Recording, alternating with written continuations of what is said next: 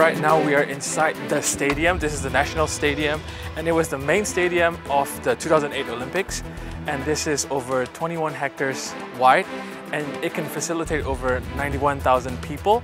You can look at how huge it is. We are now on the fifth floor of the stadium. So let's go on. Okay.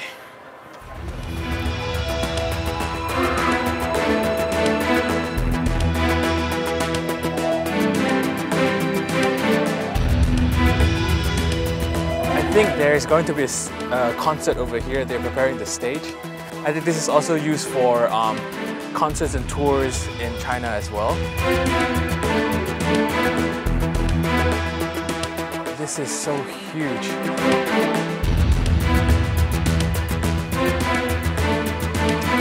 All right, let's explore more.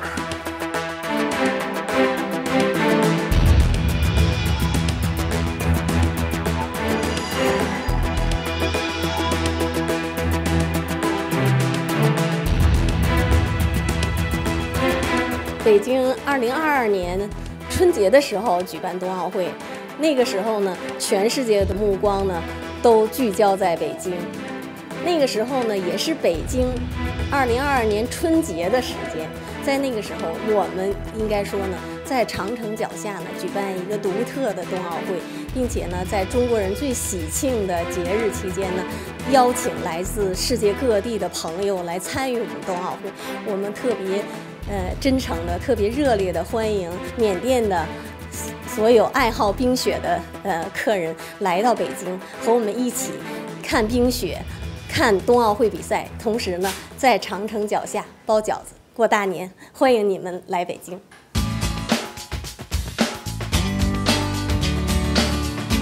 We're really excited about the Winter Olympic in 2022. The preparations are amazing and everything is going well.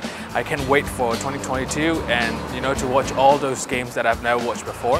And also, uh, we will meet you back in other episodes of Charming Beijing. So see you guys.